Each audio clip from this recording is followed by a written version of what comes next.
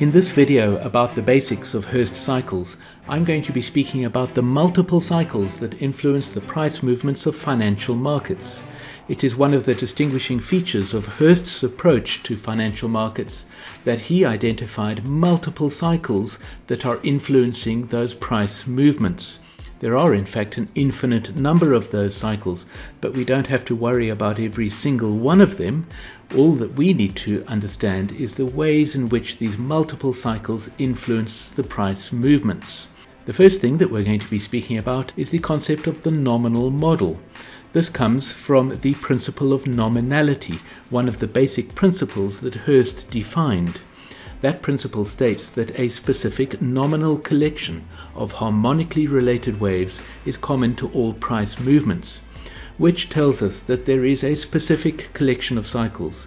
They are not a totally arbitrary collection of cycles, but a specific collection of cycles it also tells us that we can refer to the cycles by their names. That is the meaning of the word nominal, although there is some debate about the meaning of that word in that situation, but most analysts agree that it means that we can refer to the cycles by their names.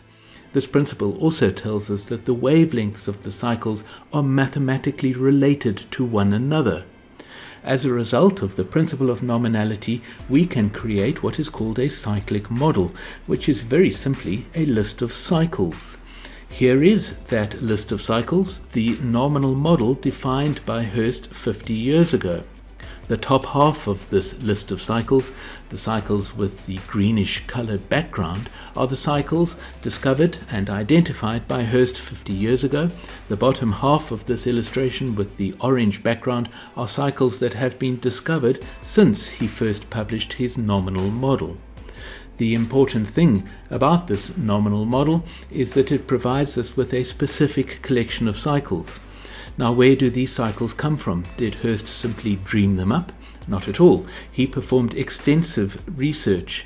He performed a form of spectral analysis on the share prices of American stocks and identified the average wavelength of cycles that were influencing those price movements you will see there are three columns to this nominal model. The first column is simply the name of the cycle, the second column is the average wavelength of that cycle measured in days, and the third column is the average wavelength in a time frame relative to the wavelength of the cycle. You will see that the longest cycle that Hurst identified was an 18 year cycle with an average wavelength of 17.93 years and the shortest cycle that he identified was a five day cycle with an average wavelength of 4.3 days. You will notice that the 80 day cycle, for instance, has an average wavelength of 68.2 days. Why do we call it the 80 day cycle then? Well, because Hurst decided that the shorter cycle, being of a length of 4.3 days, would be easier to refer to as very simply the five day cycle and the next longer cycle, which has a mathematical relationship, you will notice a ratio of 2 to 1 in terms of its wavelength, would then be the 10 day cycle. And the next longer cycle, again with a mathematical relationship of 2 to 1 to the wavelength of the shorter cycle, would be the 20 day cycle, then the 40 day cycle, the 80 day cycle, and so forth. We will be coming back to this nominal model several times in the videos ahead and speaking about that mathematical relationship. All that you need to understand for now is that each cycle in this nominal model is mathematically related to every other cycle. This nominal model is one of the first important concepts to understand as we explore the basics of Hurst cycles.